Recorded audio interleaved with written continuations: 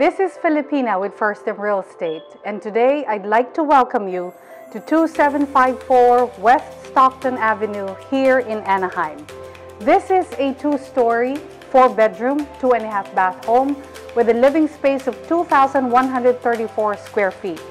Please join me as I take you on a video tour of this beautifully maintained home.